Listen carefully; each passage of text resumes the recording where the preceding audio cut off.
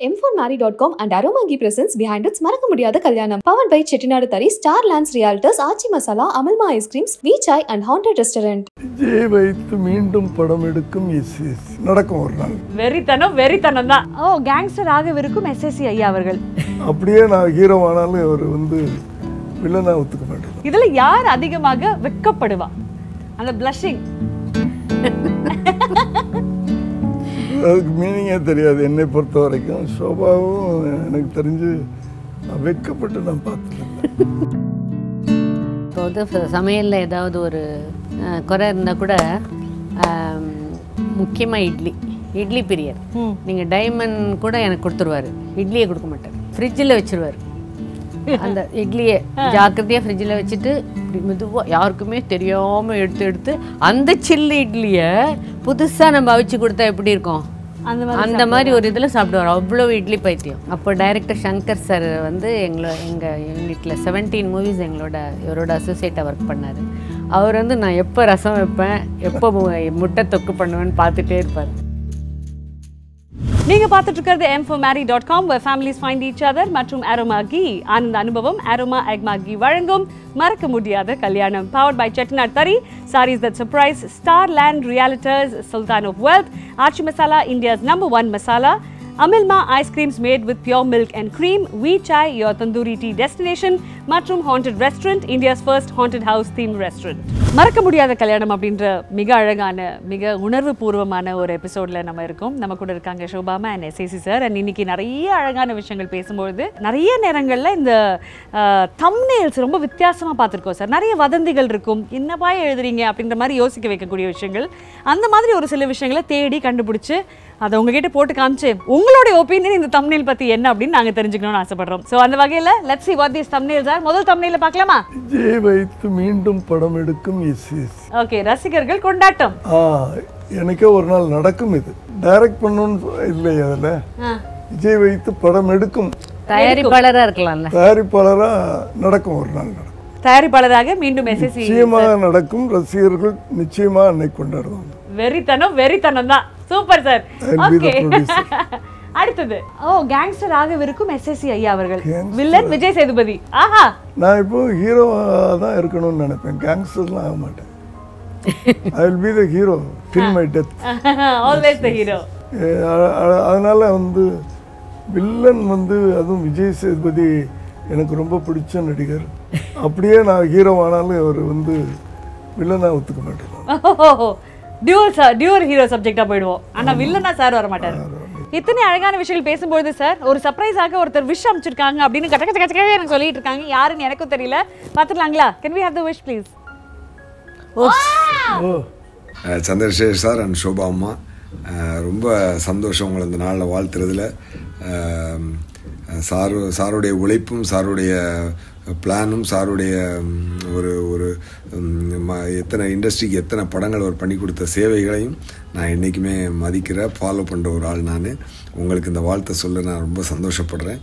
அப்புறம் அம்மா வந்து அன்பியாரிரே ஆடியோ ரிலீஸ்லேருந்து இப்போ பிஹைண்ட்வுட்டில் வந்து எனக்கு இந்த மாநாடுக்கு அவார்டு கொடுத்த வரைக்கும் எவ்வளோ அன்போடு வந்து எனக்கு வந்து பர்சனலாக அந்த ஒரு ஒரு நோட்டில் எழுதி வச்சுக்கிட்டு எனக்காக வந்து பேசிட்டு போன அந்த தருணத்தை இந்த நேரத்தில் நான் நினச்சி பார்க்குறேன். உங்கள் ரெண்டு பேருக்கும் ரொம்ப கைண்ட் ஹார்ட்டட் நீங்கள் உங்களோட உங்களை உங்களை வாழ்த்துறதுல நான் இன்னைக்கு ரொம்ப சந்தோஷப்படுறேம்மா. தேங்க்யூ தேங்க்யூ சார் இவரை பற்றி சொல்லணும்னா ஒரே ஒரு வார்த்தை. குஷி. குஷி வந்து ஏஎம் ரத்னம் தானே ப்ரொடியூசர் அவர் ஆஃபீஸில் போய் நானும் விஜயும் கதை கேட்க போகிறோம் ரெண்டரை மணி நேரம் கதை சொல்கிறாரு எப்படி உட்காந்துருந்தாருன்னா வஜ்ராசனம் தெரியும்ல? ஆமா. வஜ்ராசனம் மடக்கி உட்காந்து அப்படி அப்படி உட்கார்ந்தவர் அந்த ஒவ்வொரு டயலாக் நடித்து ரெண்டரை மணி நேரம் ஒன்று ஸ்கிரிப்டு கிஃப்ட் எதுவுமே கையில் இல்லை. பயங்கரமான நடிகர் அவர் மாநாட்டில் பார்த்துருப்பீங்க நினைக்கிறேன். அப்படி சொன்னார் அந்த அந்த கதையை ரெண்டரை மணி நேரம்.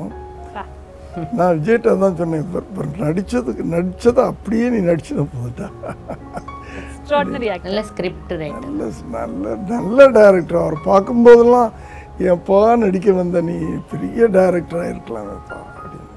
எனக்கு அவர் சொல்லுவார் லேட்டஸ்ட் மாநாட்டில் நான் நடிச்சேன்ல அப்போ அப்போ தான் எனக்கே இந்த உண்மை தெரியும். ஏம்மா நல்ல டேரக்டர் ஆச்சே நடிக்க வந்தேன்.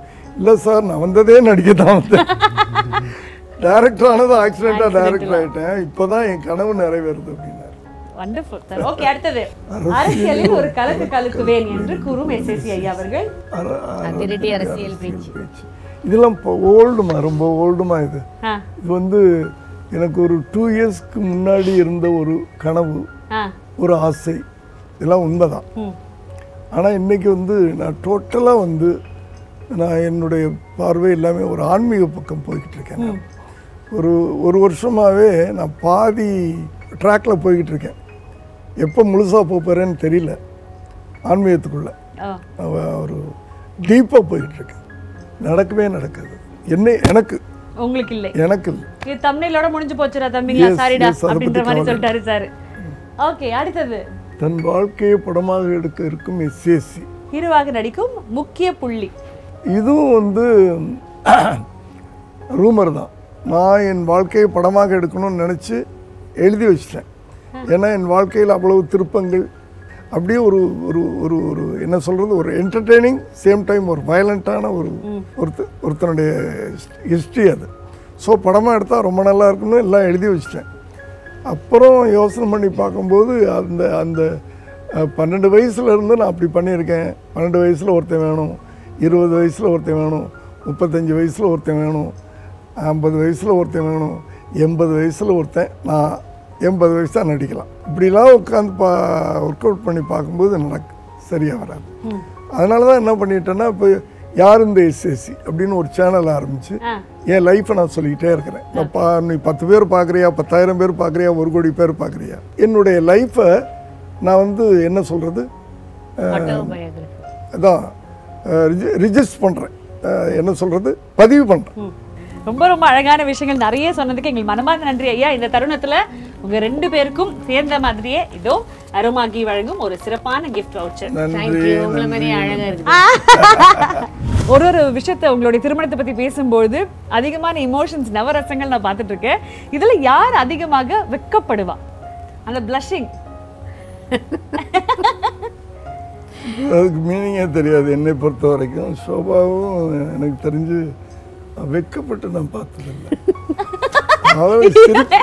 சிரிப்பா இதுதான் வெக்கம். இவ்வளவுதான் இவ்வளவுதான் சிரிப்பா ஏதாவது சொன்னா சிரிப்பா நல்லா சிரிப்பா. அவ்வளோதானே தவிர வெக்கம்ன்றது நான் நான் நோட்டீஸ் பண்ணதே கிடையாது. யார் அதிகமா? பொய் சொல்லுவா. ரெண்டு பேரும். அதிகமா? அதிகமாக வந்து நான். என்ன சார் டப்புன்னு சொல்லிட்டீங்க? ஆமாம்மா அதிகமாக நான் தான் யார் அதிகமா மாட்டுவா? பொய் சொல்லி. மாட்ட மாட்டாரு. மாட்ட மாட்டாரு. அது ரொம்ப கிளவராக தான் அம்மா பண்ற ஏதாவது ஒரு தப்பு ஏம்மா இப்படி பண்ற அப்படின்னு நீங்க என்னைக்காவது கேட்டிருக்கீங்களா? அது அது அவங்கள வந்து நான் கூப்பிடுறதே இந்த பொமரேனியன் இருக்குல்ல. செல்ல அது டாக்லேயே வந்து செல்ல டாக்னு பெட் டாக்னு சொல்லுவோம்ல. மடியில் தூக்கி வச்சுக்கிறது. பெட்டில் வச்சுக்கிறது. அது குலைச்சா எப்படி இருக்கும் தெரியுமா? அழகாக இருக்கும் க்யூட்டாக இருக்கும். கோவப்படும் போதெல்லாம் அப்படி தான் பேசுவோம். அம்மா ஏமா பொமரேனியன் மாதிரி? கொஞ்சம் சாஃப்டாக பேசுமா அம்மா, நீங்க சொல்லுங்க அப்பா கிட்ட ஏதாவது ஒண்ணு? அவர் தப்பு பண்ணிட்டு என்னைக்காவது உங்களுக்கு கோவம் வந்து இதை பண்ணாதீங்க அப்படின்னு நீங்க கோவப்பட்டு சொன்ன ஒரு விஷயம்னா? அவர் வந்து இப்போ ஹம், கே- இப்போ வந்து சமையல்ல ஏதாவது ஒரு குறை இருந்தால் கூட ஒரு மெதுவாக சொல்ல மாட்டார். இட்லி முக்கியமாக இட்லி இட்லி பிரியர். நீங்கள் டைமண்ட் கூட எனக்கு கொடுத்துருவாரு இட்லியை கொடுக்க மாட்டார். படியோ? ஆ. அவ்வளோ இட்லி பிரியர். இங்கேருந்து ஹிந்தி படம் ஷூட்டிங்க்கு போகும்போது கூடவே போவேன். நான் போயிட்டு புறப்பட்டு ரெண்டு மூணு நாள் கழித்து நான் பின்னாடியே கிளம்பி போவேன்னு வச்சுக்கோங்களேன். ஆனால் போகும்போதே ஒரு இட்லி பேக் பண்ணி எடுத்துகிட்டு போவேன். அதை வந்து சீ பிரின்சஸ்ன்னு ஒரு ஹோட்டலில் தான் நாங்கள் ஸ்டே பண்ணுவோம். ஒரு அஞ்சாறு ஹிந்தி படம் பண்ணார். அந்த ஃப்ரிட்ஜில் வச்சிருவார். அந்த இட்லியை ஜாக்கிரதையாக ஃப்ரிட்ஜில் வச்சுட்டு இப்படி மெதுவாக யாருக்குமே தெரியாமல் எடுத்து எடுத்து அந்த சில்லு இட்லியை புதுசாக நம்ம அவிச்சு கொடுத்தா எப்படி இருக்கும்? அந்த மாதிரி அந்த மாதிரி ஒரு இதில் சாப்பிடுவார் அவ்வளோ இட்லி பைத்தியம். இருக்கிறது ஃபைவ் ஸ்டார் ஹோட்டலில் நீங்கள் ஆர்டர் பண்ணி சாப்பிட்டுங்க எனக்கு அந்த இட்லி தான் இட்லி தான் வேணும். அது அழகாக சொல்லுவாள் அந்த இட்லியில் எண்ணெய் தடவி மிளகா பொடி போட்டு அப்படி கொடுப்பாங்க. அது நான் இங்கேருந்து போகும்போதே ஒரு இருபது இட்லி எடுத்துகிட்டு போய் அந்த அந்த இட்லி மட்டும்தான் நான் சாப்பிடுவேன். நான் கூடவே போய் அங்கேயே சமைச்சு கொடுப்பேம்மா. ஆனாலும் அந்த இட்லி தான். ஆனாலும் அந்த இட்லி தான். ஆனால் சமைச்சு கொடுக்கணும். நம்ம நம்மளோட style south Indian style Indian அவருக்கு அவருக்கு வந்து இந்த பாசுமதி ரைஸ்ல சாம்பார் அதெல்லாம் போட்டால் பிடிக்காது. ஸோ நான் ரைஸ் முதற்கொண்டு எடுத்துட்டு போவேன். இண்டக்ஷன் ஸ்டவ் ஹோட்டலில் ப்ளக் இருக்கும்ல அதில் போட்டு அந்த குக்கரில் அந்த ரைஸ் குக்கர்ல ரைஸ் வச்சு ரசம் வச்சு. யாருக்கும் தெரியாமல் பண்ணது. ஆனா அவ்வளவு அம்மா நீங்க பண்ணுவீங்க. எங்க டிராவல் பண்ணாலும்? எங்கே ட்ராவல் பண்ணாலும் போயிடுவேன் கூட. அப்போ டைரக்டர் சங்கர் சார் வந்து எங்களோ எங்கள் யூனிட்டில் செவன்டீன் மூவிஸ் எங்களோட இவரோட அசோசியேட்டாக ஒர்க் பண்ணார்.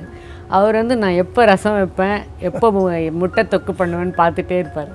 உங்களுக்கு சமையல் ரொம்ப பிடிக்குமாமா ஆமாம் ஆமாம் ரொம்ப பிடிக்கும். ஆசைப்பட்டு தான் செய்றீங்களா? இல்ல இல்லை செய்யணுன்றதுக்காக இல்லை இல்லை ஆசைப்பட்டு. இல்லை இல்லை. எப்பவுமே ஆசைப்பட்டு தான் ஆசைப்பட்டு தான் சமையல் பண்ணுவீங்க. நீங்க ரொம்ப ஆசைப்பட்டு என்னைக்காவது ஒரு நேரத்துல ஏதோ ஒரு ஒரு தருணத்துல சார் வந்து நிறைய ஷூட்லாம் முடிச்சுட்டு வீட்ல வந்து டயர்டா உட்காந்துருக்காரு அந்த டைம்ல இவருக்கு இப்போ இது கண்டிப்பா கொடுத்தா இவர் எனர்ஜி ஆயிடுவார் அப்படின்னா என்ன சமைச்சு கொடுப்பீங்க? இட்லி தான்.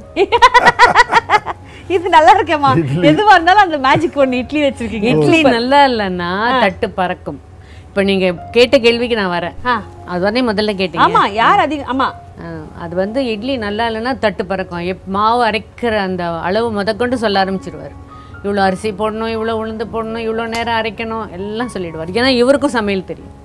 அது பெரிய பிரச்சனை இல்லை மேம் வீட்ல கணவருக்கும் சமையல் தெரிஞ்சிச்சுன்னா அது ரொம்ப பெரிய பிரச்சனை. ஏன் சார் நீங்க ஏன் சமையல்லாம் கத்துக்கிட்டீங்க? இல்லைம்மா எனக்கு அதில் டேஸ்ட் நான் பேச்சுலராக இருக்கும்போது அந்த காலத்துல இருந்து அப்படியே நான் செஞ்சு செஞ்சு பழக்கம். சொல்லுவாங்க எங்க இவரோட பிரதர் உங்க அண்ணி. குழந்தை இருபத்தோரு இட்லியை ஒரே நேரத்துல சாப்பிடணும்.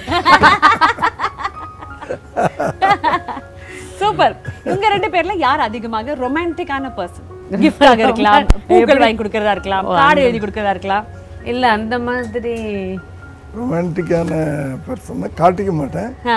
ஆம் த ரொமான்டிக்கான நான் வந்து எந்த ஊருக்கு போனாலும் ஒரு உதாரணத்துக்கு சொன்னேன்னா அவளுக்கு ஏதாவது வாங்கிட்டு வருவேன். கரெக்டாக வாங்கிட்டு வருவேன். அவள் டேஸ்ட்டுக்கு வாங்கிட்டு வருவேன். இப்படியே பாம்பேல இருக்கேன்னு வச்சுங்களேன் பாம்பேல அப்படியே ரோட்டில் போய்கிட்டே இருப்பேன். இந்த ஷோ பொம்மையில் இப்போ ட்ரெஸ் போட்டிருப்பாங்க. சிலது அழகாக இருக்கும். நான் போய் இந்த ட்ரெஸ் வேணுமே. அது ஒரு பீஸ் தான் சார் கழட்டுன்ற கழட்டி இதை கொடு. வேணும். ஆ. அப்படிலாம் வாங்கிட்டு வந்திருக்கேன் அவளுக்கு நான் எங்கே போனாலும் ஜொல்லு எதுவோ எதுவுமே அவள் நான் கேட்டு நான் வாங்கி கொடுத்ததே கிடையாது. நீங்களே ஆசைப்பட்டு ஒண்ணு கண்டிப்பா வாங்கிடுவீங்க. எங்கே போனாலும் வாங்கிட்டு வந்துடும் சாரீஸ் செல்வார் எல்லாமே எல்லாமே. நல்லா வாங்கிட்டு வருவாரு.